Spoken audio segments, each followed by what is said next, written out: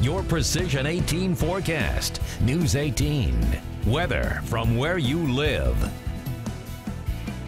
The big weather story this evening is the cool temperatures. We have temperatures falling through the 30s as they have really, we've been stuck in the 40s all day. So we've been really cooling off here this evening with the clearing skies and the skies really cleared out once the evening set. 37 degrees right now in Lafayette. Candy Teal and Chalmers has 37. Also Marion and Remington at 37 as well. So a lot of cool air to be had in our viewing area. Check out the low temperatures this morning out to our west. Got down to 22 degrees in Sioux Falls. So there is some very fall-like, almost winter-like temperatures to be had. And we're going to tap into that this evening. Here's satellite radar showing the clearing trend that's really going to help with a very widespread frost overnight tonight, which is why we are under that freeze warning. Check out how the clouds did clear through the evening hours, and Futurecast shows that clearing trend very well. For the rest of the night, we're going to stay under these mostly clear conditions, and we will set in the freeze. We are under a freeze warning. Want, uh, want to keep that in mind. We have temperatures that are forecasted.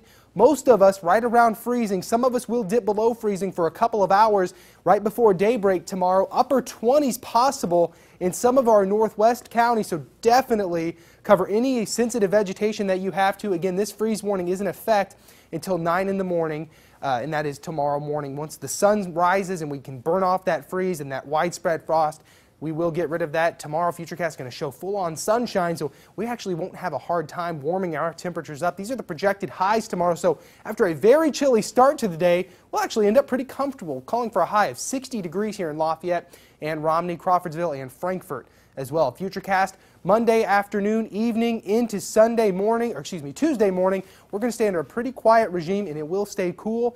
Temperatures will stay below average much of the seven day forecast. 31 degrees the low tonight. We have those clearing skies. Again, a freeze warning in effect, but we'll rebound nicely Monday, 60 degrees, 67 on Tuesday.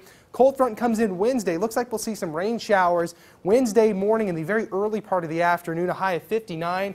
And we're going to stay really just slightly below average much of the seven day forecast until next weekend. Saturday looks like a warm front will come through, warm us up to 72 behind the cold front that's associated, associated with it. Excuse me, 72 the high on Saturday, and we'll cool it down to the mid 60s by next Sunday. So, uh, your prediction, when do you think we'll see snow?